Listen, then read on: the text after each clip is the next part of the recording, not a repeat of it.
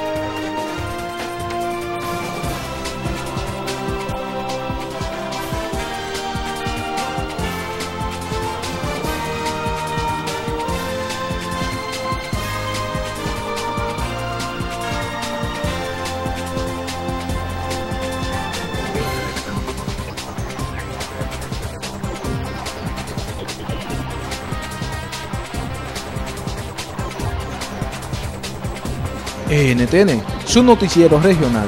Robinson Polanco.